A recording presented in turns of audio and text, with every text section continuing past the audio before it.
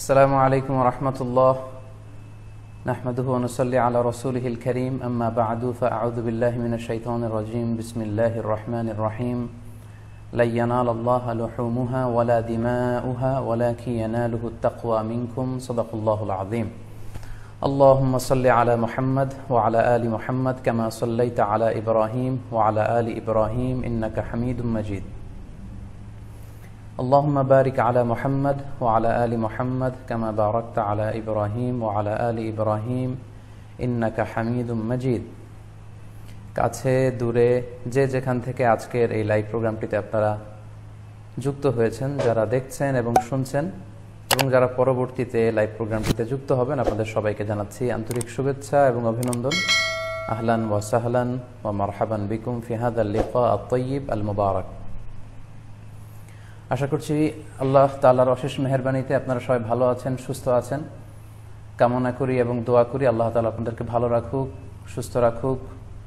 সব ধরনের বিপদ থেকে আল্লাহ তালা আপনাদেরকে সেফ রাখুক, নিরাপদে রাখুক।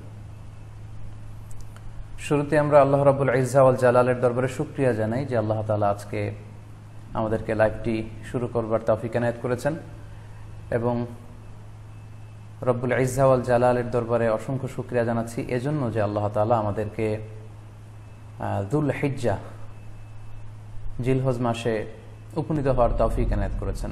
আমরা আজকে মালয়েশিয়াতে অলরেডি জিলহজ শুরু করে ফেলেছি এবং আমরা জানি যে এই জিলহজের প্রথম দশক মানে প্রথম দশটি দিন খুবই গুরুত্বপূর্ণ দশটি দিন।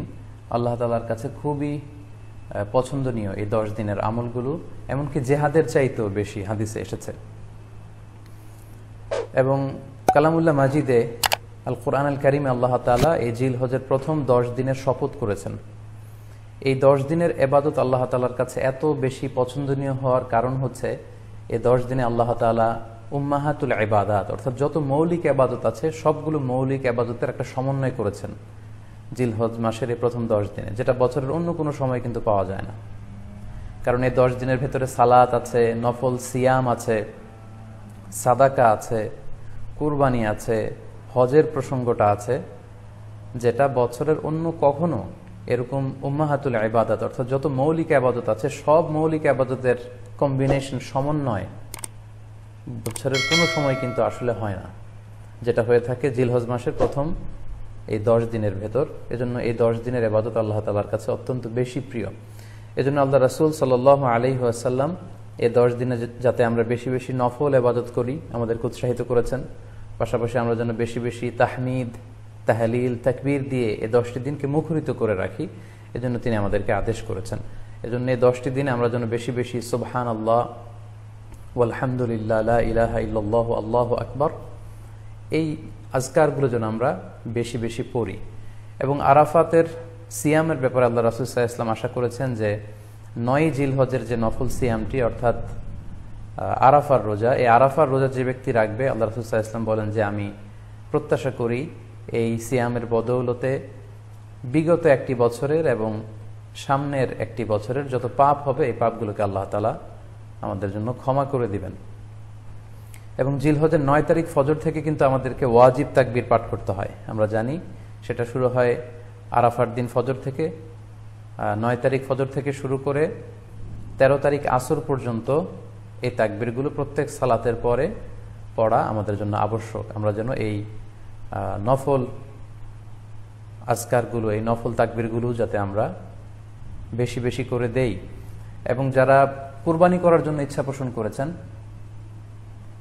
তারা যেন এই দশ দিনের আগেই তাদের মাথার চুল এবং নখ কেটে পরিচ্ছন্ন হয়ে যান এবং জিলহজের এই দশ দিনে তারা যাতে মাথার চুল না কাটে এবং হাতের নখ না কাটে এই মর্মে আল্লাহ রাসুসাহ ইসলাম আমাদেরকে গাইডলাইন দিয়েছেন। সব মিলে আল্লাহ তালার কাছে এই দশটি দিনের আবাদত খুবই প্রিয়, এমনকি হাদিসে এসেছে যেটা আমরা বললাম যে জেহাদের চাইতেও বেশি প্রিয়। এজন্য এই সুবর্ণ সুযোগটুকুন যেন আমরা কখনোই মিস না করি। তাই আমাদের সাধ্যমতো আমরা যেন বেশি বেশি নফল আবাদত করি। আমরা যেন সুযোগ হলে পুরো দশ দিন ব্যাপী আমরা চাইলে নফল সিয়াম রাখতে পারি।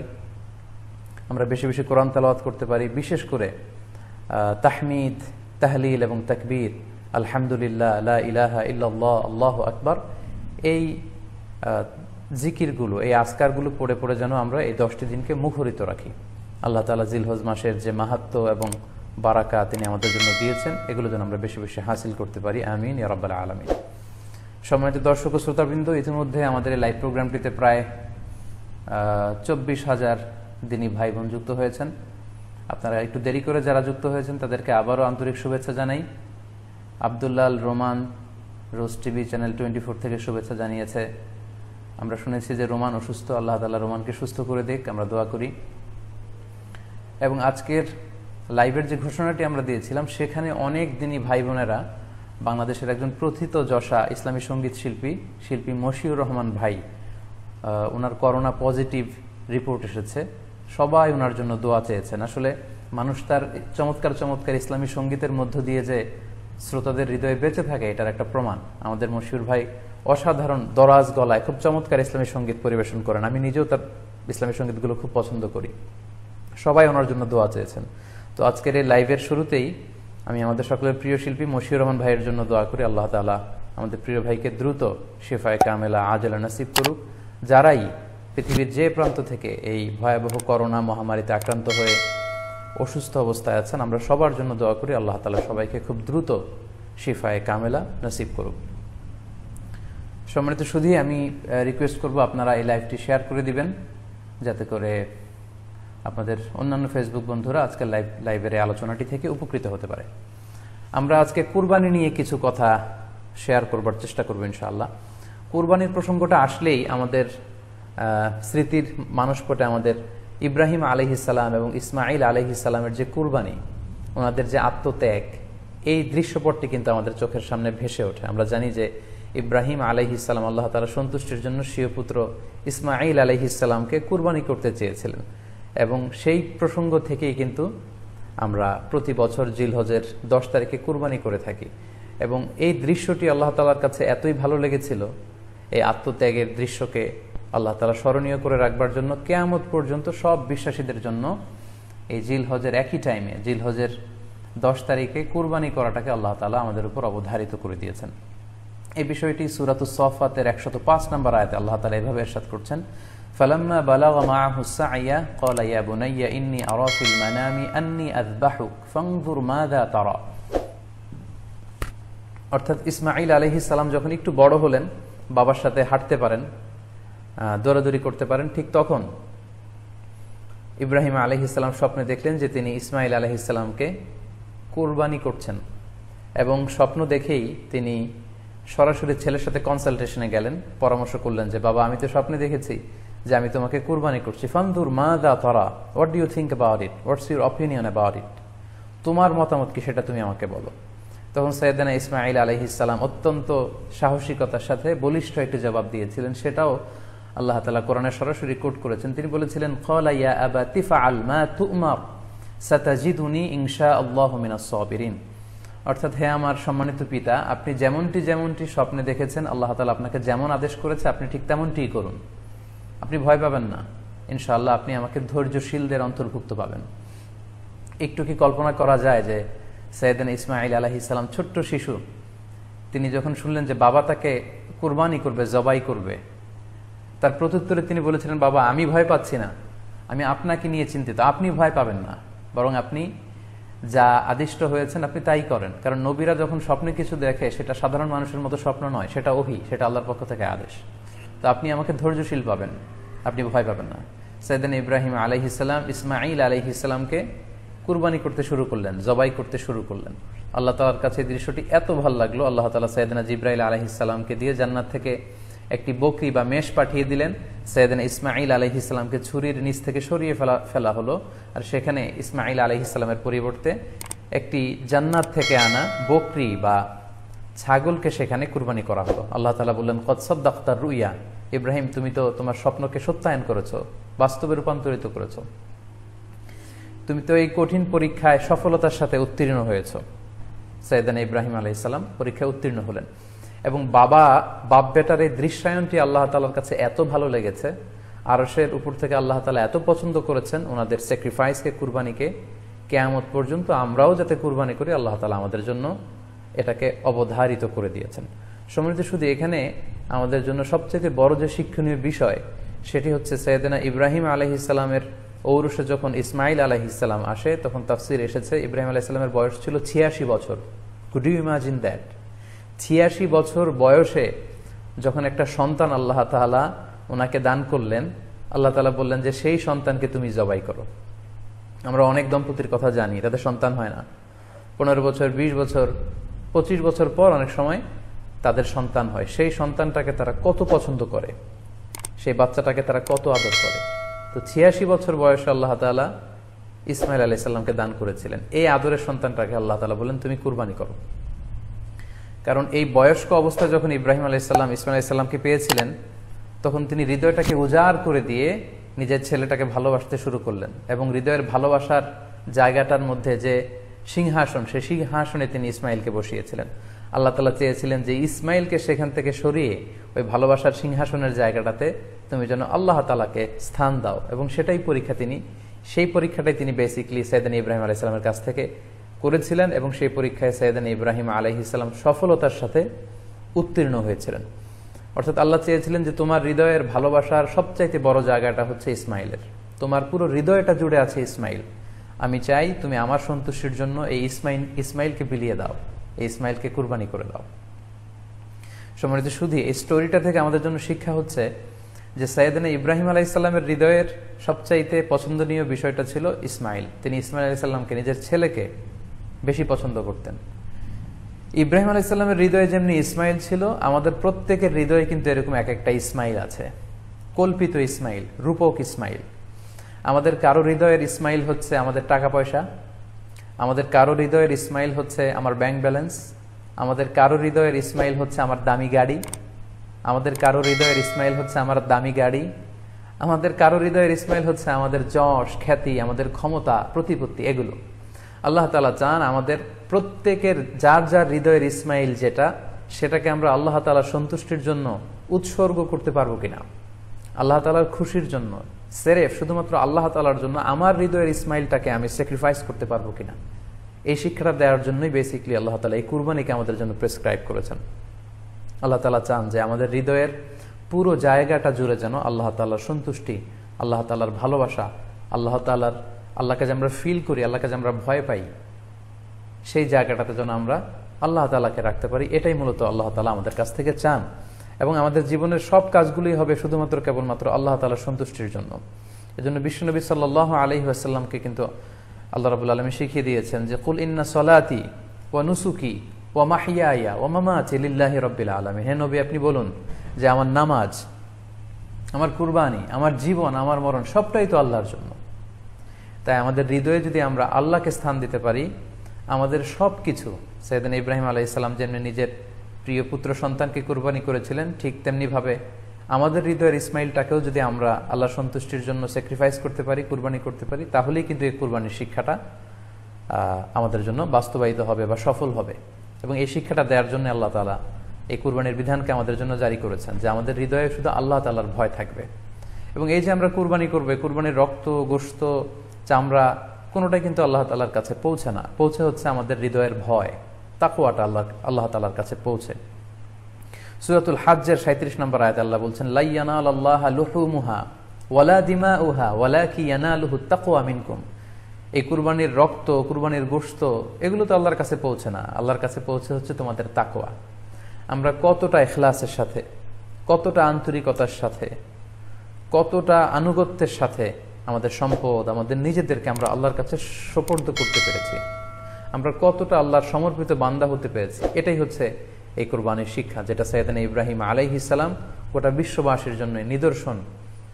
এই ঘটনার মধ্য দিয়ে কিন্তু আমাদের জন্য রেখে গিয়েছেন। তাই আমরা এই কুরবানির মধ্য দিয়ে এটা যেন ফিল করি, যে আমাদের সবটুকুন আমরা আল্লাহর জন্য বিলিয়ে দিতে প্রস্তুত আছি।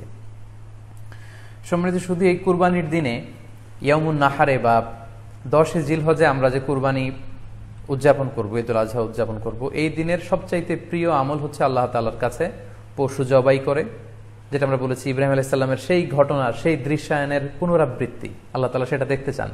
আমরা পশু জবাই করে রক্ত প্রবাহিত করে দেয়া, এটা আল্লাহ তালার কাছে খুবই পছন্দনীয়।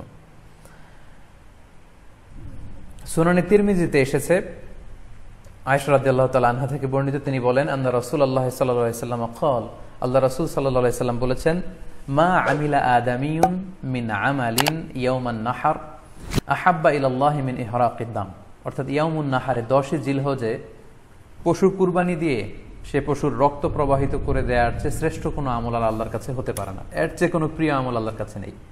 তার মানে কুরবানির দিনে সবচাইতে প্রিয় আমল, আল্লাহর কাছে পছন্দনীয় আমল হচ্ছে কুরবানি করা। তাই আমাদের যাদের যাদের সাধ্য আছে, আমরা যেন বেশি বেশি কুরবানি করি। সম্মানিত শুধু আমরা জানি যে এই কুরবানিকে আল্লাহ তালা আমাদের উপর আবশ্যক করেছেন। কুরবানির হুকুম সম্পর্কে যদি বলি, তাহলে বলব যে এটা ওয়াজিব, হানাফি স্কুল অফ থট অনুযায়ী। কিন্তু অন্যান্য মাঝহাবে এটাকে সুন্নাতে মোয়াক্কাদা বলা হয়েছে। মেজরিটি স্কলাররা, জুমহুরুল ফোকাহা, ইমাম শাহি আহমদ এবং ইমাম মালিকদের মতে, তাদের মতে এটা হচ্ছে সুন্নাতে মোয়াক্কাদা কিন্তু হানাফি মাঝহাবে এই কুরবানি করা হচ্ছে ওয়াজিব। যেহেতু আমরা আমাদের বাংলাদেশে বেশিরভাগই হচ্ছে হানাফি মাঝহাবের অনুসারী সো এটা কিন্তু আমাদের জন্য অবধারিত। যাদেরকে আল্লাহ তালা সম্পদ দিয়েছেন টাকা পয়সার মালিক বানিয়েছেন, স্বাবলম্বী করেছেন, আমাদের প্রত্যেকের উপর কিন্তু এই কোরবানি করাটা ওয়াজিব। যেহেতু কোরবানি একেবারে আমাদের সন্নিকটে সো এই কুরবানি নিয়ে আমাদের মধ্যে অনেক ধরনের প্রশ্ন রয়েছে এবং বিগত কয়েকদিন ধরে আমার ফেসবুক পেজের বিভিন্ন স্ট্যাটাসে আমার মেসেজ অপশনে অনেক ভাই, দিনী ভাই এবং বোনেরা অনেক অনেক প্রশ্ন করেছেন। আসলে এতগুলো প্রশ্নের উত্তর আসলে আমাদের পক্ষে করা সম্ভব হবে না। সেখান থেকে খুবই কন্টেম্পোরারি খুবই রেলেভেন্ট প্রাসঙ্গিক দুই একটি প্রশ্নের ব্যাপারে আলোচনা করে আমরা আজকের সংক্ষিপ্ত লাইভটি শেষ করব ইনশাল্লাহ খুব বেশি যে প্রশ্নটি করা হয়েছে সেটি হচ্ছে জানতে চাওয়া হয়েছে সাত ভাগে কুরবানি করা যাবে কিনা। এই ধরনের প্রশ্ন কিন্তু আমরা আগে শুনতাম না। রিসেন্টলি কিছু কিছু স্কলারদের আলোচনা বা এতে করে লোকজন হয়তো বিভ্রান্তিতে ভোগেন কিংবা একটা ধোঁয়াশা তৈরি হয়। ফলে এই প্রশ্নটি করা হচ্ছে। আমরা আবহমান কাল থেকে আমাদের প্রিয় মাতৃভূমি বাংলাদেশে হয়তো ছাগল কুরবানি দিয়েছি অথবা গরু কুরবানি দিয়েছি সর্বোচ্চ সাত ভাগে। সো এটা আমাদের সবার কাছে জানা ছিল। এ নিয়ে আগে সংশয় ছিল না। ইদানিংকালে অনেকের মধ্যে এই বিষয়ে সংশয় জেগেছে। কেউ কেউ বলে থাকেন যে ভাগে যদি কুরবানি দেওয়া হয় সাতজনে মিলে গরুতে বা মহিষে বা উঠে, এই ভাগে কুরবানি হবে না, এটা অনেকে বলে থাকেন। এই কথাটি আসলে ঠিক নয়। আপনি যদি ভাগে কুরবানি দিতে চান এটি জায়েজ আছে এবং একটি উঁটে বা মহিষে বা গরুতে আপনি সর্বোচ্চ সাতটি ভাগে কুরবানি দিতে পারবেন ইনশাআল্লাহ। এ ব্যাপারে সহি মুসলিমের একটি হাদিসকে আমরা এখানে উল্লেখ করতে চাই। সৈদানা জাবের রদিয়াল্লাহ তালাহ থেকে বর্ণিত তিনি বলেন, কলা হাজাজ নামা রসুল্লাহ সাল আলহি ওয়াসাল্লাম, আমরা আল্লাহ রাসুল্লাহ ইসলামের সাথে হজ করেছি বা সেখানে আমরা উট কুরবানি দিয়েছি সাতজনের পক্ষ থেকে, ওয়াল বখরাতা আনসাবা আর আমরা সেখানে গরু কুরবানি দিয়েছি সাতজনের পক্ষ থেকে। খুব সুস্পষ্ট।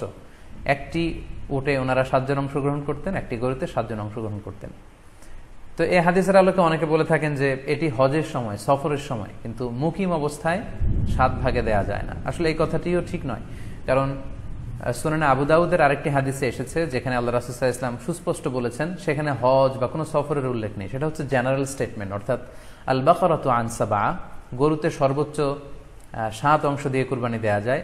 ওয়াল জাজুর ও আনসাবা আর উটের ক্ষেত্রেও সর্বোচ্চ সাত অংশ দিয়ে কুরবানি দেওয়া যায়। তো এই হাদিস, দ্বিতীয় যে হাদিসটি উল্লেখ করলাম, এগুলো এটা হচ্ছে জেনারেল স্টেটমেন্ট। সেখানে সফর, মুকিম কোনো কথা বলা হয়নি। ইন জেনারেলি বলা হয়েছে যে উটে সাত ভাগ দেওয়া যায়, গরুতে সাত ভাগ দেওয়া যায়।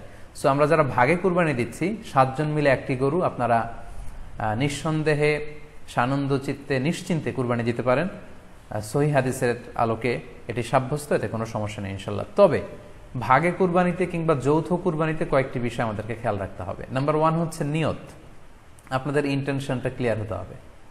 প্রত্যেকেরই যাতে একই ইন্টেনশন থাকে, সবারই যাতে ইন্টেনশন থাকে যে শুধুমাত্র আল্লাহ তালা সন্তুষ্টির জন্য আমরা এই কুরবানি দিচ্ছি। এখানে কয়েকজনের যদি ইন্টেনশন থাকে যে আল্লাহ সন্তুষ্ট, অন্যজনের যদি নিয়তে ঝামেলা থাকে, তাহলে কিন্তু কুরবানিটা প্রশ্নবিদ্ধ হয়ে যাচ্ছে।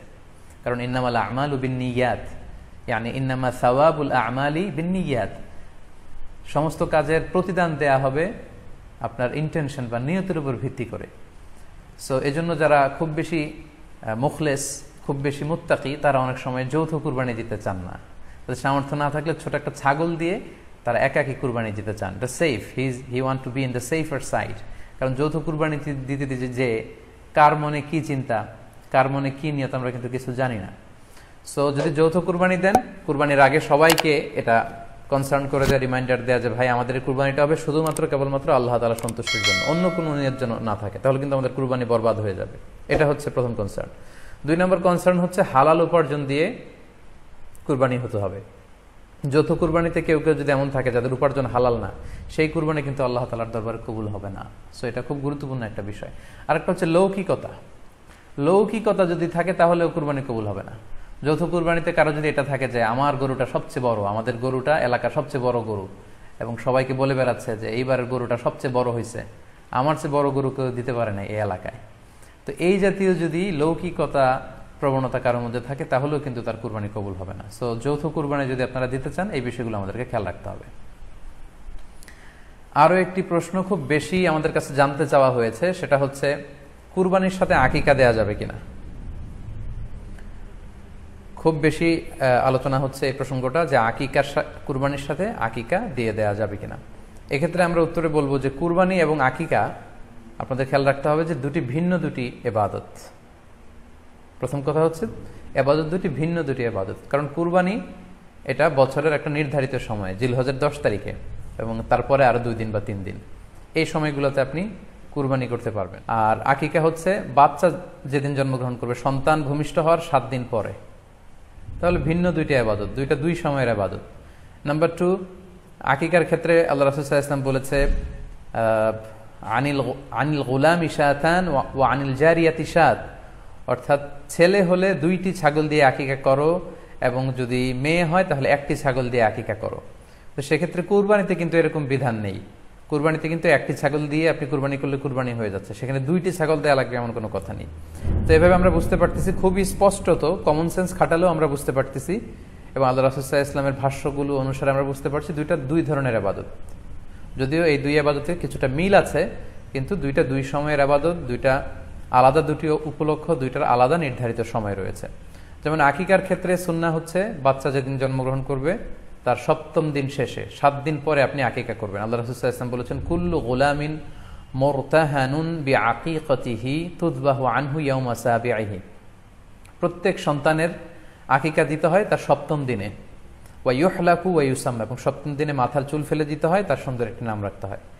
তাহলে আকিকার বিধান হচ্ছে সম্মানিত শুধু সন্তান জন্মগ্রহণ করার সাত দিন পরে। আমরা বুঝতে পারলাম আল্লাহ রসুল্লাহ ইসলামের ভাষ্য অনুযায়ী, কথা অনুযায়ী, কৌল অনুযায়ী। এবার যদি আমরা আল্লাহ রসুল্লাহ ইসলামের আমল দেখি ওনার ব্যক্তিগত আমল কি ছিল? সেক্ষেত্রে আমরা সহিবনে হিব্বানের একটি হাদিস উল্লেখ করব, যেটিকে ইবনু হাজার আল আসকালানি উনি ওনার ফাতুল বাড়িতে সহি হিসেবে উল্লেখ করেছেন। আয়সরাদিল্লাহ তালা আনহার বর্ণনা, তিনি বলেন যে, আক্কা রসুল্লাহ সাল আলি আসাল্লামা আনিল হাসানি ওয়াল হোসাইনি ইয়ৌমা সাবে আই ওয়াসাম্মাহুমা। আল্লাহ রাসুল্লাহ ইসলাম নিজে ওনার দৌহিত্র, অর্থাৎ ওনার নাতি হাসান এবং হুসাইনের আকিকা নিজে করেছেন সপ্তম দিনে। এবং সপ্তম দিনে তাদের নাম রেখেছেন। একজনের নাম রেখেছেন হাসান আর একজনের নাম হুসাইন। অর্থাৎ হাসান রাদি আল্লাহ আগে জন্মগ্রহণ করেছিলেন। ওনার চেয়ে ছোট ছিল হোসেন উনি পরে জন্মগ্রহণ করেছেন। তো ওনাদের জন্মের পরে, সাত দিন পরে আল্লাহ রাসুল্লাহ ইসলাম ওনাদের আকিকা দিয়েছিলেন। এবং সপ্তম দিনে উনি আকিকাও দিয়েছেন এবং তাদের নামও রেখেছেন। তাহলে আল্লাহ রাসুল্লাহ ইসলামের কৌলি হাদিস ওনার ভাষ্যমতে আমরা জানলাম, উনি বলেছেন, সপ্তম দিনে আকিকা দিতে হয়। এবং ওনার ব্যক্তিগত আমল থেকে আমরা জানতে পারলাম যে উনি ওনার দুই নাতির আকিকা দিয়েছেন, সপ্তম দিনে এবং নাম রেখেছেন।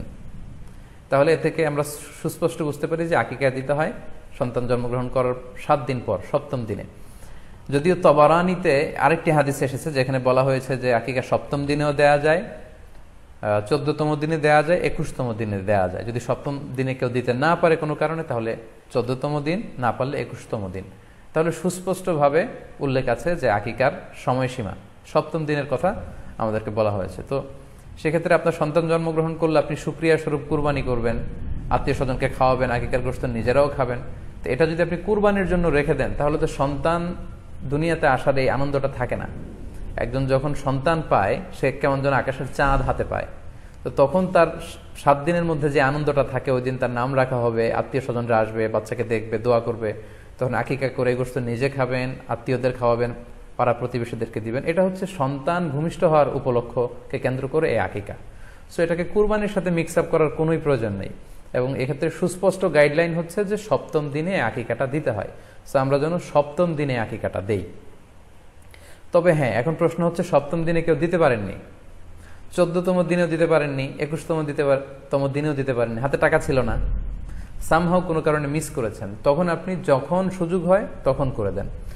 ওই প্রেক্ষাপটে আপনি যদি কুরবানির সময়ও আকিকা দিয়ে দিতে চান, এটা আদায় হয়ে যাবে ইনশাল্লাহ আশা করা যায় আদায় হয়ে যাবে এবং এটা জায়েজ আছে, তবে এটা সুন্না নয়। সুন্না হচ্ছে সপ্তম দিনে আকিকা দেওয়া।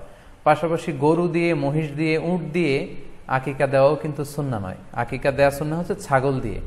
হ্যাঁ গরু সাত ভাগে একটি ভাগ, কুরবানির সাথে যদি আপনি আকিকা দিতে চান, আকিকা আদায় হয়ে যাবে।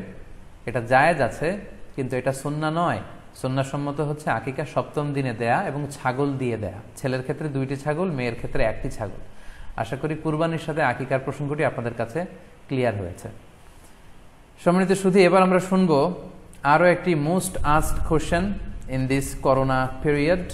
COVID nineteen outbreak period সেটা হচ্ছে এই করোনা পরিস্থিতিতে কুরবানি না দিয়ে কুরবানির টাকা দান করে দিলে ওই সওয়াব পাওয়া যাবে কিনা? এই প্রশ্নগুলোও কিন্তু আমরা আগে শুনতাম না।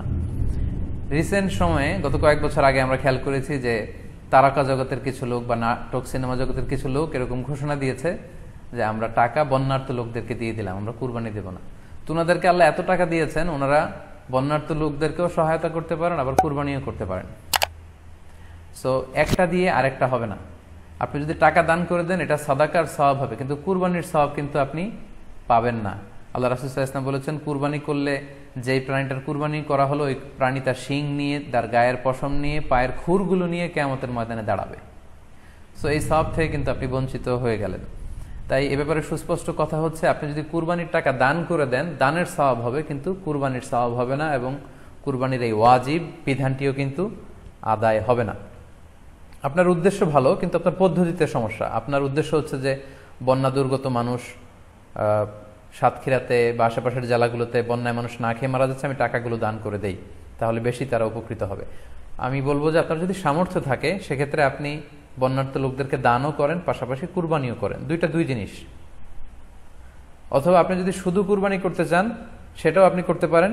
আপনি কুরবানি করবেন, এতে করে কিন্তু আপনি যে দান করতে চান, আপনার এই পারপাসটাও কিন্তু সার্ভ হবে। কিন্তু কুরবানির টাকা দান করে দিলে কখনো কুরবানি আদায় হবে না। আপনি যদি কুরবানি করেন, এক্ষেত্রেও কিন্তু দরিদ্র জনগোষ্ঠীর বিশাল স্বার্থ এখানে আছে, কারণ বছরের একটা দীর্ঘ সময় ধরে এই সুবিধাবঞ্চিত মানুষগুলো কিন্তু আমিষের অভাবে তারা ভোগে, পুষ্টিহীনতায় ভোগে। তারা এমনও অনেক ফ্যামিলি আছে, বছরে শুধু এই কুরবানির সময় এই মৌসুমটাতে তারা কিছু গোস্ত খেতে পারে। সো তাদের মধ্যে আপনি কুরবানি করে এই গোস্ত বিতরণ করতে পারেন। সো এই কোভিড নাইন্টিনের পিরিয়ডে আমাদের উচিত বেশি বেশি কুরবানি করা। কুরবানি করে এই অভুক্ত মানুষদের ঘরে ঘরে কুরবানির গোস্ত পৌঁছে দেয়া। তাহলে আপনি কুরবানির মাধ্যমে কিন্তু এই গোস্ত বিতরণ করে তাদের সহায়তা করতে পারলেন। পাশাপাশি যারা খামারি আছে, আপনি কুরবানি করলে এই তাই খামারিদের এই ব্যবসা প্রসেসেও কিন্তু আপনি অংশগ্রহণ করলেন। আপনি তাদের ব্যবসাতে আল্লাহ তালা সুদকে হারাম করেছেন, ব্যবসাকে হালাল করেছেন, তাহলে ব্যবসার মতো একটা চমৎকার কাজেও আপনি সহায়তা করলেন কুরবানির মধ্য দিয়ে। আরও একটা গুরুত্বপূর্ণ বিষয় হচ্ছে, আমাদের গ্রাম বাংলায় কিন্তু আমাদের অনেক গরিব লোকজন আছে বা মা বোনেরা আছে, যারা সারা বছর ব্যাপী ছাগল পালে, এই আশায় যে কুরবানির সময় ছাগলটাকে বিক্রি করবে। অথবা গরু পালে, গ্রামগঞ্জে অনেক পরিবার আছে যে বছর শেষে কুরবানির সময় আসলে তারা এটা ভালো দামে বিক্রি করবে এবং সেই টাকা দিয়ে সারা বছর চলবে। সো আপনি যদি কুরবানি করেন, তাহলে ওই প্রান্তিক জনগোষ্ঠীকেও কিন্তু সহায়তা করা হলো। পাশাপাশি কুরবানির এই সময়গুলোতে হাজার হাজার কসাইদের একটা জীবিকার ব্যবস্থা হয়। তারা গরু কুরবান, গরু জবাই করে, চামড়া খোলে, গোস্ত কাটে। তো এই কুরবানির দিনগুলোতে কিন্তু হাজার হাজার কসাইদের হালাল জীবিকার একটা ব্যবস্থা হয়। কসাইরা কিন্তু কুটিপতি হয় না। সো আপনি এই কুরবানির প্রসেসটাকে যদি আরও বেশি প্রমোট করেন, তাহলে এই কসাইদেরও কিন্তু একটা রিজিকের ব্যবস্থা হচ্ছে। আরও ইন্টারেস্টিংলি কুরবানির যে চামড়া, পশুর যে চামড়া, এই চামড়াগুলো কিন্তু ইয়াতিমের হক, গরিবদের হক। সো আপনি কুরবানির চামড়া বিক্রি যদি করে দেন চামড়া চাইলে আপনি ব্যবহার করতে পারেন, অথবা বিক্রি করলে এটা কিন্তু ইয়াতিমখানাতে, মাদ্রাসাগুলোতে হ্যাঁ অভাবী মানুষদেরকে এই দামটা কিন্তু দিয়ে দিতে হয়। ফলে কুরবানির এই চামড়া থেকে কিন্তু মাদ্রাসাগুলো বা ইয়াতিম ছাত্রছাত্রীরা উপকৃত হচ্ছে। তাহলে এখানে অনেক বিষয় জড়িত। যদিও বর্তমান সময়ে চামড়া শিল্প ধ্বংস করার একটা বিশাল পায়তারা চলছে, চামড়ার দাম পড়ে যাচ্ছে। তো আমরা যদি কুরবানি না দেয় আমাদের চামড়া শিল্প হুমকির মুখে পড়বে। এবং এই যে হাজার হাজার মাদ্রাসা এবং এতিমখানা আছে, যাদের একটা বড় ইনকামের বা আয়ের উৎস হচ্ছে কুরবানির সময়, এই চামড়ার টাকা। সো মানে with all this discussion it seems that through sacrifice you can contribute more আপনি যদি কুরবানি করেন এবং এটা যদি বেশি বেশি করেন, তাহলে আপনি যে চাচ্ছেন অসহায় মানুষদেরকে সহায়তা করতে, এটা আরও বেশি বেশি করা হলো। বেশি বেশি করা হলো। তাদেরকে গোস্ত বিতরণ করে আপনি সহায়তা করলেন। খামারিদেরকে ব্যবসার ক্ষেত্রে সহযোগিতা করলেন, গ্রামের যে নারীরা ছাগল পাললো, গরু পাললো, তাদের সহায়তা করলেন, কসাইদের হালাল জীবিকার জন্য সহযোগিতা করলেন, মাদ্রাসার এতিম ছাত্রদেরকে আপনি সহায়তা করলেন। সো আমি বলব যে, কখনো এই ভুল সিদ্ধান্ত নেবেন না যে কুরবানির টাকা আমি দান করে দেবো। না, আপনি কুরবানি করবেন। এতে আপনার কুরবানির ওয়াজিবও আদায় হবে, গরিবদেরকে সহযোগিতাও করা হবে। সেক্ষেত্রে যদি আপনি স্বাস্থ্য ঝুঁকি মনে করেন এই করোনা পরিস্থিতিতে, সেক্ষেত্রে আপনি সরাসরি হাটে যেতে না চাইলে অনলাইনে গরু ক্রয় করতে পারেন। গতকাল আমি কয়েকটি বিশ্বস্ত সংস্থা বা ফাউন্ডেশনের নাম উল্লেখ করেছি আমার পেজে, যারা এই কুরবানির সার্ভিসটা দিচ্ছে।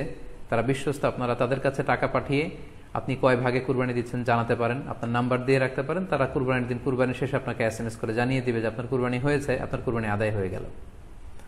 অনেকে না বুঝে অনেক বিরূপ মন্তব্য করেছেন গতকালের স্ট্যাটাসটিতে। আসলে যে এই সংস্থাগুলোর কথা আমি উল্লেখ করেছি, তাদের সাথে সরাসরি আমার কোনো সম্পৃক্ততা নেই। বরং এটু, এটা জনকল্যাণমূলক একটা কাজের অংশ হিসেবেই মূলত আমি অল্টারনেটিভ একটা সহজ পদ্ধতি, যারা হাটে যেতে চান না গোস্ত বন্টন করা এবং করোনা পরিস্থিতির কারণে স্বাস্থ্য ঝুঁকি মনে করে যারা কুরবানি একেবারে দিতেই চাচ্ছেন না, তারা যেন এই ভুলটি না করেন। বরং অন্তত এই সংস্থাগুলোর কাছে টাকা পাঠিয়ে তারা যেন তাদের ওয়াজিব কুরবানির বিধানটি পালন করেন এজন্য মূলত এই স্ট্যাটাসটি দেওয়া হয়েছিল। আরও একটি সহজ পদ্ধতি আছে, সেটা হচ্ছে যারা শহুরে জীবনযাপন করছেন, শহরে আছেন তারা চাইলে কিন্তু আপনার গ্রামের আত্মীয় স্বজনদের কাছে আপনার টাকা পাঠিয়ে দিয়ে কুরবানি আদায় করতে পারেন। টাকা পাঠিয়ে দিলে তারা আপনার পক্ষ থেকে ছাগল বা গরু কিনে কুরবানি করে তারা গোস্ত খেয়ে উপকৃত হলো, আশেপাশের গরিব আত্মীয় স্বজনদের মধ্যে বিতরণ করে এই কুরবানির প্রক্রিয়াটা আদায় হলো। এটাও খুব সহজে কিন্তু করা যেতে পারে। আর কুরবানির ক্ষেত্রে প্রতিনিধিত্ব জায়জ আছে। অন বিহাফ অফ ইউ অন্য কেউ আপনার পক্ষ থেকে কুরবানি করতে পারবে, আপনি টাকা দিয়ে দিলেই হলো। আর যারা হাটে যে নিজে দেখে শুনে গরু, ছাগল কিনে এনে নিজে কুরবানি করে সব ব্যবস্থাপনা করতে পারবেন, আয়োজন করতে পারবেন, সেটা সবচাইতে ভালো। সেটা তো নুরুন আলা নূর, এটা নিয়ে কোনো কথা নেই। তবে সেক্ষেত্রে এই করোনা পরিস্থিতিতে হাটে যাওয়া, কুরবানি করা, সেক্ষেত্রে স্বাস্থ্য, পরিপূর্ণভাবে স্বাস্থ্যবিধি মেনে চলতে হবে এবং সর্বোচ্চ সতর্কতার পরিচয় আমাদেরকে দিতে হবে যাতে করে কুরবানিকে কেন্দ্র করে এই রোগের এই মহামারী যাতে আরও বেশি করে আমাদের মাঝে ছড়িয়ে পড়ার কোনো সুযোগ না পায়। আশা করি কুরবানির টাকা দিয়ে দিলে কুরবানি আদায় হবে কিনা এই ব্যাপারটি আপনারা বুঝতে পেরেছেন। এবার আমরা আসি, আরেকটি প্রশ্ন আমাদের কাছে খুব বেশি এসেছে, সেটা হচ্ছে কুরবানির পশু অনলাইনে ক্রয় করা যাবে কিনা? খুবই রেলেভেন্ট একটি কোশ্চেন যেহেতু এখন অনেকেই হাটে যেতে চাচ্ছেন না করোনা পরিস্থিতির কারণে অনলাইনে আমরা অনেক কেনাকাটা করি, ফলে অনলাইনে কুরবানির পশুটা ক্রয় করা যাবে কিনা? এটা হচ্ছে প্রশ্ন। এক্ষেত্রে উত্তর হচ্ছে, জি, অন্যান্য জিনিস আপনি যেমনি অনলাইনে ক্রয় করেন, সেগুলো যেমনি জায়েজ, অনুরূপভাবে অনলাইনে কুরবানির পশুও ক্রয় করা জায়েজ। বিভিন্ন ডেইরি ফার্ম আছে, অ্যাগ্রো ফার্ম আছে, এবং বিভিন্ন গরু ছাগলের খামার আছে। তারা কিন্তু, আমি দেখলাম যে বিক্রয় ডট কমে না রকমারি ডট কমে আমি দেখলাম যে তারা গরুর অ্যাড দিচ্ছে, গরুর ভিডিও সেখানে আপলোড করে দিচ্ছে, সেখানে তাদের ক্লায়েন্টরা সেটা দেখে তারা গরু ক্রয় করছে। যে এটা যায় যাচ্ছে ইনশাল্লাহ আপনারা যদি স্বাস্থ্য ঝুঁকির কারণে গরুর হাটকে অ্যাভয়েড করতে চান, ওখানে যেতে না চান, আপনারা চাইলে অনলাইনে পশু ক্রয় করতে পারবেন। তবে সেক্ষেত্রে দুটি জিনিস আপনাকে নিশ্চিত হতে হবে। দুইটা জিনিস আপনাকে অনলাইনে পশু ক্রয় করার ক্ষেত্রে নিশ্চিত হতে হবে। প্রথম বিষয় হচ্ছে, পশুটা দৈহিকভাবে ত্রুটিমুক্ত কিনা, এটা নিশ্চিত হতে হবে। অর্থাৎ পশুর বিস্তারিত অঙ্গ প্রত্যঙ্গের বর্ণনা আপনার জানা থাকা চাই। পশুটা সুস্থ আছে কিনা, বাহ্যিকভাবে সমস্ত ত্রুটিমুক্ত কিনা, এটা জানতে হবে। দুই নম্বর হচ্ছে পশুর বয়স সম্পর্কে আপনার জানতে হবে, কারণ যে কোনো বয়সের পশু দিয়ে কুরবানি করা যায় না। এটার একটা নির্ধারিত বয়স সীমা দেওয়া আছে সারিয়াতে সেটা আপনাকে মেনটেন করতে হবে। প্রথম হচ্ছে সালিমাতুল অয়ুব সালিমাতুল মিনাল অয়ুব ইজহেরা বাহ্যিক ত্রুটিমুক্ত হওয়া। যে কোনো পশু দিয়ে কিন্তু, অসুস্থ পশু দিয়ে কুরবানি করলে কিন্তু কুরবানি হবে না। এক্ষেত্রে আমরা সুনানে নাসাইর একটি হাদিস উল্লেখ করব। হাদিসটি সহি বারা ইবনে আসিফ রাজি আল্লাহ তালু বর্ণনা করেছেন। আল্লাহ রাসুল্লাহ ইসলাম বলেছেন, লা ইয়াজুজ মিনা দহায়া আল আউরা উল বাইগুনা আউরুহা এমন পশু দিয়ে কুরবানি হবে না যে এই পশুটা সুস্পষ্টভাবে অন্ধ। অন্ধ কানা কোনো পশু দিয়ে কুরবানি হবে না। ওয়াল আরজা উল বাইনু আরজুহা, খোড়া। কুরবানি যেখানে করা হবে, ওই জায়গা পর্যন্ত হেঁটে যেতে পারছে না, মাঠ থেকে বাড়িতে আনা যাচ্ছে না। এরকম খোড়া প্রাণী দিয়ে কুরবানি করা যাবে না। ওয়াল মারিদতুল বাইগিনু মারাদুহা, খুব বেশি অসুস্থ। খুবই দুর্বল অসুস্থ প্রাণী দিয়ে কোরবানি করা যাবে না। ওয়াল আজফা উল্লাতি লা তুঙ্কি এবং এমন এমন বয়স্ক বৃদ্ধ প্রাণী যে অতি বয়সের ভারে এটা নুজ্জ হয়ে গিয়েছে এবং এর হাড্ডির ভেতরে যে মজ্জা এই মজ্জা শুকিয়ে গিয়েছে। এরকম প্রাণী দিয়েও কিন্তু কোরবানি করা যাবে না। তাহলে সুনানে নাসাইয়ের এই সহি হাদিসটির মধ্য দিয়ে আমরা বুঝতে পারলাম যে অন্ধ প্রাণী দিয়ে কুরবানি করা যায় না খোড়া প্রাণী দিয়ে করা যায় না, খুবই দুর্বল প্রাণী দিয়ে এবং খুব বয়স হয়েছে, এরকম প্রাণী দিয়ে কিন্তু কুরবানি করা যাবে না। তারপর আমরা সুনানি তিরমিজির আরেকটি হাদিস এখানে উল্লেখ করব। এই হাদিসটিও হাসান পর্যায়ের হাদিস। বর্ণাকারী হচ্ছেন আলী রাদি আল্লাহ তালু তিনি বলেন, নাহা রসুল্লাহ সাল্লাহ আলাইসাল্লামা আইয়ুদাহা বি আবিল খরনি ওয়াল উদুন অর্থাৎ আল্লাহ রাসুল ইসলাম শিং ভাঙা এবং কান কাটা এরকম প্রাণী দিয়ে কুরবানি করতে নিষেধ করেছেন। অর্থাৎ ব্রোকেন হর্নস অ্যান্ড ইয়ার্স কোনো পশুর যদি শিং দুটো ভাঙা থাকে অথবা কান কাটা থাকে, এরকম প্রাণী দিয়ে কুরবানি করলে কুরবানি আদায় হবে না। পশুর কানের ব্যাপারে আরও সুস্পষ্ট হাদিস এসেছে সুনানি তিরমিজিতে, এটিও হাসান পর্যায়ের হাদিস। বর্ণাকারী সৈদানা আলী রদি আল্লাহ তালানহু তিনি বলেন যে, নাহা রসুল্লাহ সাল্লাহ আলাইহি আসাল্লামা আইয়ুদহা বিমুকাবালাহ আও মুদাবারাহ আও শারকা আও খরকা আও জাদা অর্থাৎ আল্লাহ রাসুল ইসলাম মোকাবালা মানে এমন প্রাণী যে প্রাণীর কানের সামনের অংশ কাটা। এরকম প্রাণী দিয়ে কুরবানি করা যাবে না। আও মুদাবারা, এমন প্রাণী যে প্রাণীর কানের পেছনের অংশ কাটা, সেটা দিয়ে কুরবানি করা যাবে না। আও সারকা অথবা কানের মাঝখানে কাটা দুই দিক ঝুলে আছে, করা যাবে না। আও খরকা অথবা কানের ভেতরে ছিদ্র। পশুর কানে যদি ছিদ্র থাকে, কেটে যে ছিদ্র হয়ে গিয়েছে, ড্রিল্ড হয়ে গিয়েছে, সেই প্রাণী দিয়ে কুরবানি করা যাবে না। আও জাদা অথবা নাক কাটা, এরকম প্রাণী দিয়ে কুরবানি করা যাবে না। তাহলে আল্লাহ রসুল্লাহ ইসলামের ভাষ্যমতে এই এই প্রাণীগুলো দিয়ে কুরবানি করা যাবে না। ফলে আপনি অনলাইনে যদি পশু ক্রয় করতে চান, আপনার যে পশুটা ক্রয় করবেন এটা বাহ্যিকভাবে সুস্থ আছে কিনা, অঙ্গ প্রত্যঙ্গের বিস্তারিত বর্ণনা ভিডিওতে আপনাকে ক্রস ক্রস চেক করে এবং বাড়িতে আনার পরে সেটাকে দেখে এই পারচেসটা আপনাকে নিশ্চিত করতে হবে। দুই নাম্বার খেয়াল রাখবার বিষয় হচ্ছে পশুর বয়স। কুরবানির পশুর একটা নির্ধারিত বয়স সীমা আছে। সেক্ষেত্রে উটের জন্য পাঁচ বছর হওয়া লাগবে কমপক্ষে। গরু বা মহিষের ক্ষেত্রে কমপক্ষে দুই বছর হতে হবে এবং ছাগলের ক্ষেত্রে কমপক্ষে এক বছর হতে হবে। আবার বলছি উট পাঁচ বছর, গরু দুই বছর এবং ছাগল এক বছর। তবে মেষ বা ভেড়া, দুম্বা এগুলো যদি ছয় মাসের হয়, দেখতে যদি মোটা সোটা হয়, এক বছরের মতো মনে হয়, তাহলে সেগুলো দিয়েও কোরবানি করা যাবে। সেক্ষেত্রে পশুর যে দাঁত আছে নিচের পাটের যে পশুর দাঁত, এই দাঁতগুলোর পাশে দুইটা ধারালো দাঁত থাকে, এগুলো উঠেছে কিনা, এগুলো দেখে দেখে আপনারা পশুর বয়সকে নির্ণয় করতে পারবেন। তাহলে অনলাইনে ক্রয়ের ক্ষেত্রে আমাদের উত্তর হচ্ছে যে, অনলাইনে আপনি পশু ক্রয় করতে পারবেন। সেক্ষেত্রে আপনাকে দুটি বিষয়ে খুব খেয়াল রাখতে হবে। এক হচ্ছে পশুর অঙ্গ প্রত্যঙ্গ ঠিক আছে কিনা, বাহ্যিকভাবে সব ধরনের ত্রুটিমুক্ত কিনা। দুই নম্বর হচ্ছে পশুর বয়স।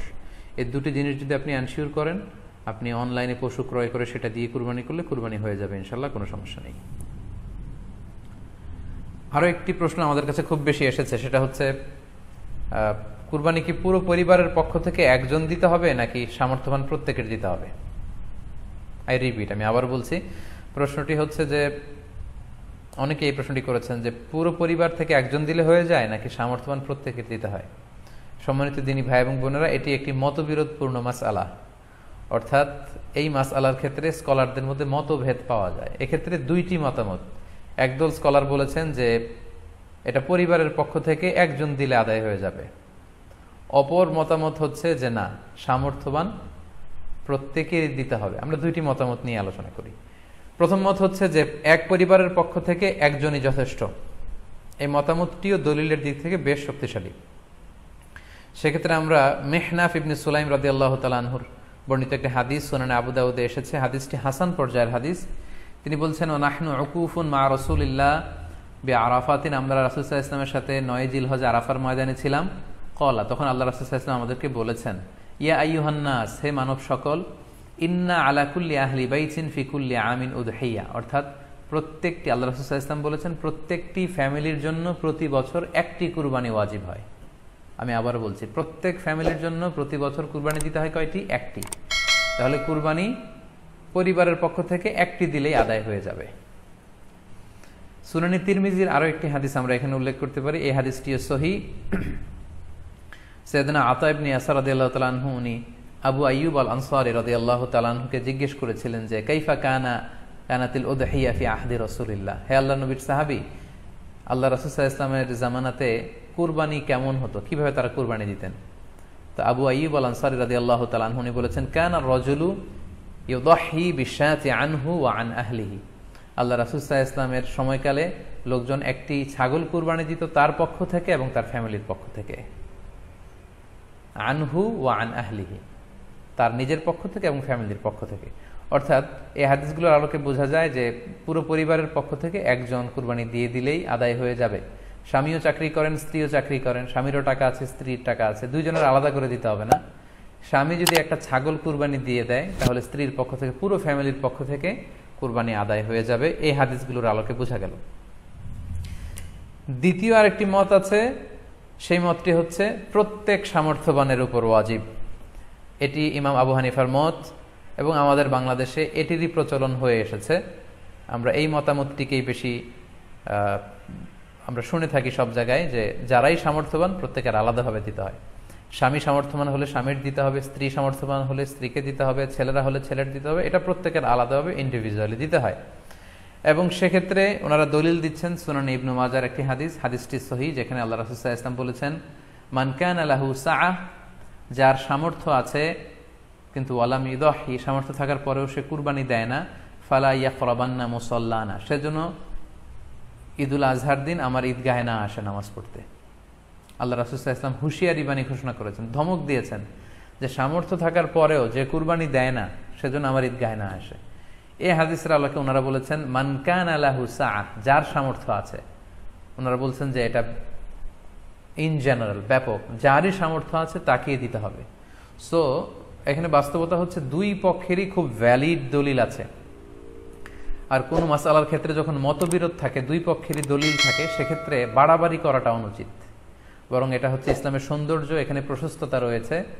সো যারা মনে করে যে ফ্যামিলির পক্ষ থেকে একজন কুরবানি দিলেই আদায় হয়ে যাবে, তাদেরও দলিল আছে, তাদেরকে সেটা করতে দেওয়া উচিত। তবে আমরা এটাকেই সাজেস্ট করি যে প্রত্যেক সামর্থ্যবানের উপর কুরবানি দেওয়া উচিত। এতে করে যিনি কুরবানি দিবেন, উনি সওয়াব পেয়ে উপকৃত হলেন। আবার উনি কুরবানি দেওয়ার কারণে গোস্ত বিতরণ করলেন, ফলে গরিবরা উপকৃত হল। সো সামর্থ্যবান প্রত্যেকেরই উচিত বেশি বেশি কুরবানি দেয়া। আশা করি এই মাসালিটাও আপনারা বুঝতে পেরেছেন। সম্মানিত শুধু আমরা আমাদের লাইভের একেবারে শেষের দিকে চলে এসেছি। আমরা খুব বেশি লম্বা চড়া করতে চাই না। যদিও বলেছিলাম সংক্ষিপ্ত লাইভ, মাঝখানে একবার ইন্টারনেট এবং ইলেকট্রিসিটি চলে যাওয়ার কারণে একবার ইন্টারাপ্ট হলো। এ পর্যায়ে আমরা অল্প কয়েকটি রিমাইন্ডার আপনাদের সাথে শেয়ার করে আজকের আলোচনাটুকু আমরা এখানেই জবনিকা টানবো এখানে আমরা আলোচনাটি শেষ করব ইনশাআল্লাহ। প্রথম যে রিমাইন্ডারটি আপনাদের সাথে আমি শেয়ার করতে চাই, সেটি হচ্ছে সম্মানিত শুধু আমরা অনেকেই বাজার থেকে পশু আনার সময় বা কুরবানি করার সময় পশুর সাথে অনেক বেশি অমানবিক আচরণ করি। এতে করে কিন্তু আপনার কুরবানিটা পুরো কুরবানির প্রক্রিয়াটাই প্রশ্নবিদ্ধ হয়ে যেতে পারে। তাই আজকের লাইভের মধ্য দিয়ে যারাই আপনারা যুক্ত হয়েছেন, আমি সবাইকে বলছি আমরা যাতে পশুর সাথে মানবিক আচরণ করি। কুরবানির পশুর সাথে এমন কোনো আচরণ যাতে না করি যাতে ওর কষ্ট না হয়। আমরা যেন এটা খেয়াল রাখি।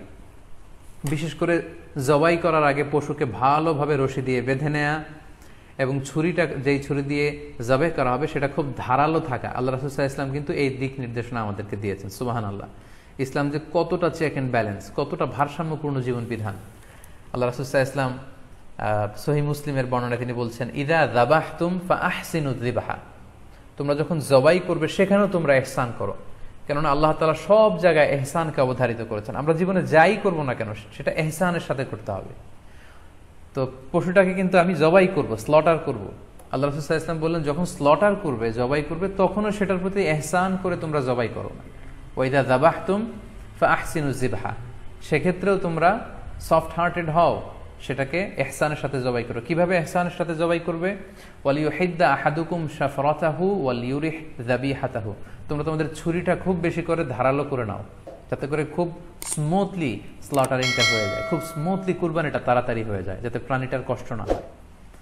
আমরা প্রায়ই আমাদের ব্যাখেয়ালে বা অবহেলাবশত কুরবানির পশু ট্রাক থেকে নামানো, হাট থেকে নিয়ে আসা, এমনভাবে আমরা কুরবানির পশুর সাথে ট্রিট করি এতে করে কিন্তু অনেক অমানবিক আচরণ আমাদের দ্বারা প্রকাশ পেয়ে যায়। সো আমরা যদি, যদিও এটাকে জবাই করব, আমরা যেন এহসানের সাথে জবাই করি। এই বিষয়টা যেন আমরা খেয়াল রাখি।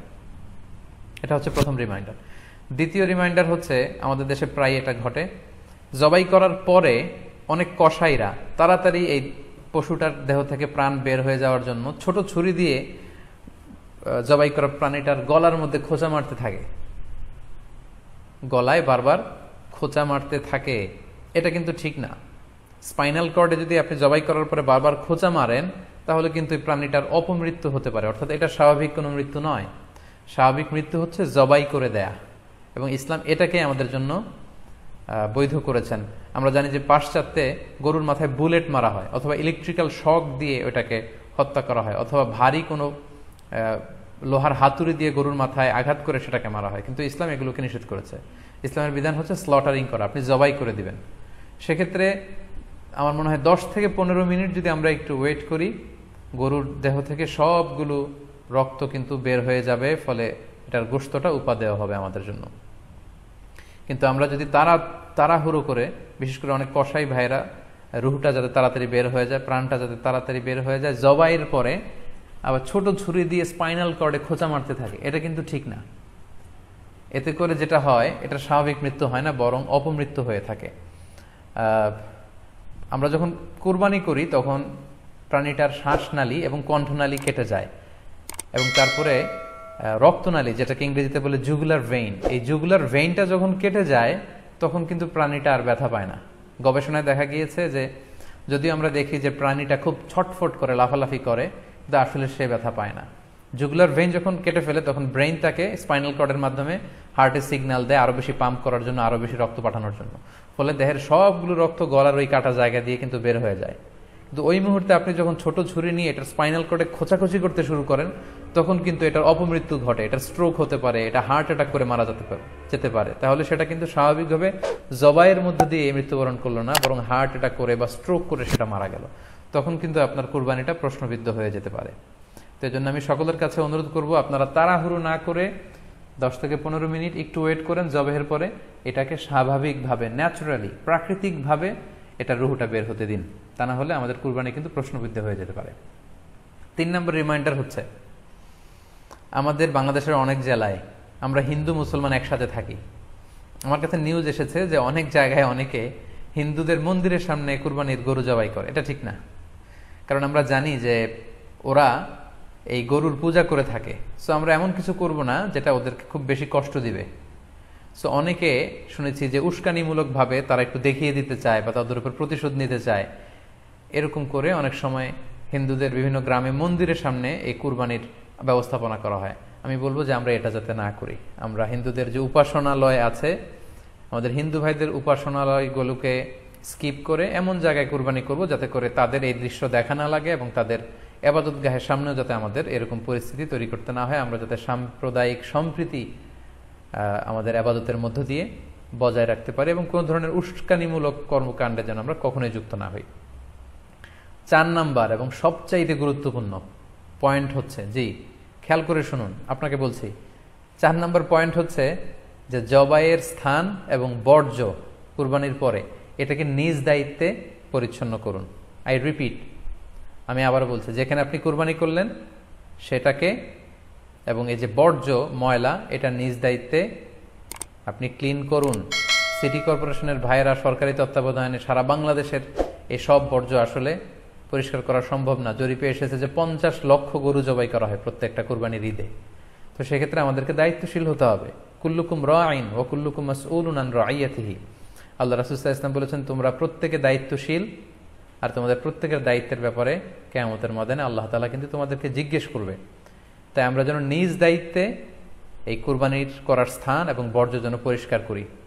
ব্লিচিং পাউডার দিয়ে বেশি করে পানি মেরে আমরা যেন পরিষ্কার পরিচ্ছন্ন রাখি। কারণ আর তুহুরু সাত্রুল ইমান পরিষ্কার পরিচ্ছন্নতা এটা হচ্ছে ইমানের অঙ্গ। এই বিষয়টা জানে আমরা খুব গুরুত্বের সাথে নেই এবং নিজ নিজ কুরবানি আমরা যেখানে দিলাম, সেই জায়গাটা যেন আমরা পরিষ্কার করি। বিশেষ করে বিভিন্ন সংস্থা যারা অনেক অনেক কুরবানি করবেন ভলান্টিয়ারিলি বিভিন্ন কুরবানি করে কুরবানির গোস্ত বিতরণ করবেন। আপনারা এরকম ভলান্টিয়ারিলি ক্লিনলিনেস ক্যাম্পেইন করতে হবে, যাতে কোনো ধরনের রক্ত, ময়লা, বর্জ্য, আবর্জনা না থাকে। এই ব্যাপারটাকে যেন আমরা খেয়াল রাখি। সর্বশেষ হচ্ছে, অনেকে জিজ্ঞেস করেন যে ফ্রিজে রাখা যাবে কিনা? জি, কুরবানির গোস্ত ফ্রিজে রাখা যাবে। ইবনে আব্বাস রাদিল্লাহ তালাহুর মত অনুযায়ী তিন ভাগ করা উত্তম, তবে এটা আবশ্যক নয়। আপনি এক ভাগ নিজে খাবেন, এক ভাগ আত্মীয় স্বজন প্রতিবেশীদের দিবেন, আরেক ভাগ গরিব দুঃখীদের মাঝে বন্টন করে দিবেন। এটা উত্তম, কিন্তু এটা আবশ্যক নয়। পুরো গোস্ত যদি আপনার লেগে যায়, আপনি ভোগ করতে পারেন। আর যদি আপনার কাছে অতিরিক্ত গোস্ত থাকে, এটা আপনি আত্মীয়দের দান করুন। গরিব আত্মীয়দের আপনি উপহার দিন। গরিব মিসকিনদের সুবিধা বঞ্চিত মানুষদেরকে আপনি এগুলো দান করুন। কারণ সুরাতুল হাজের আঠাশ নম্বর আয়াত আল্লাহ তালা বলেছেন, ফাকুলু মিনহা ওয়া আতআইমুল বা ইসাল ফাকির। তোমরা কুরবানির এই গোস্ত নিজেরাও খাও এবং অভাবী লোকদেরকে দাও।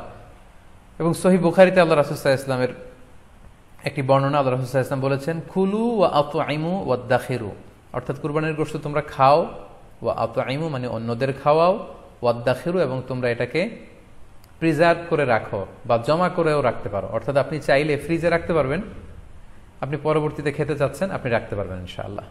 সো উত্তম হচ্ছে তিন ভাগ করে, এক ভাগ নিজে খাওয়া, এক ভাগ আত্মীয় স্বজনদের প্রতিবেশীদের দেয়া এবং এক ভাগ অভাবী সুবিধা বঞ্চিত গরিব, মিসকিনদের মাঝে বন্টন করে দেয়া এবং অবশ্যই অবশ্যই যাদের সামর্থ্য আছে, আপনারা বেশি বেশি কুরবানি করুন এবং এই কুরবানির মধ্য দিয়ে আমরা অনেক অনেক প্রান্তিক জনগোষ্ঠী সুবিধা বঞ্চিত মানুষ তাদের কাছে আমাদের সহায়তাগুলো পৌঁছে দিতে পারব। সম্মানিত সুধী, আপনাদের সবাইকে আবারও সুক্রিয়া জানাই। দীর্ঘ সময় নিয়ে আপনারা আমাদের লাইভ প্রোগ্রামটিতে জয়েন করেছেন। এখনও দেখা যাচ্ছে প্রায় বাইশ হাজার সাতশো দিনী ভাই বোন আমাদের লাইভটি শুনছেন। আপনাদের সবাইকে আবারও আন্তরিক শুভেচ্ছা এবং অভিনন্দন। আমরা কামনা করি যে আল্লাহ তালার কাছে আমরা ফরিয়াদ করি, জিলহজ মাসের প্রথম দশ দিনের যে বারাকা, রাহমা, আমরা যেন নফল আবাদত করে করে বেশি বেশি তাকবীর, তাহলিল দিয়ে এই দিনগুলো যেন মুখরিত রাখতে পারি, বেশি বেশি নফল আবাদত করতে পারি, নফল রোজা রাখতে পারি। বিশেষ করে অবশ্যই আরাফার দিনের রোজা যাতে আমরা মিস না করি। এবং যদিও করোনা পরিস্থিতির মধ্যে দিয়ে আমরা সবাই আতঙ্কিত, তারপরেও গোটা মুসলিম উম্মার জন্য আমরা দোয়া করি যে এই ঈদ উল আজহার উৎসব যাতে আমরা ভাব গাম্ভীর্যের সাথে, আবাদতের মধ্য দিয়ে, আনন্দ উৎসবের মধ্য দিয়ে পালন করতে পারি। আপনাদের সবার জন্য আমি দোয়া করছি। আমি নিজেও আপনাদের সবার কাছে দোয়া চাই। আল্লাহ তালা আপনাদের সবাইকে ভালো রাখুক, সুস্থ রাখুক ইমানের সাথে রাখুক। আবারও হয়তো কোনো লাইভে দেখা হয়ে যাবে। আপনারা লাইভটি শেয়ার করবেন বলে আশা করছি। سبحانك اللهم وبحمدك أشهد أن لا إله إلا أنت أستغفرك وأتوب إليك والسلام عليكم ورحمة الله وبركاته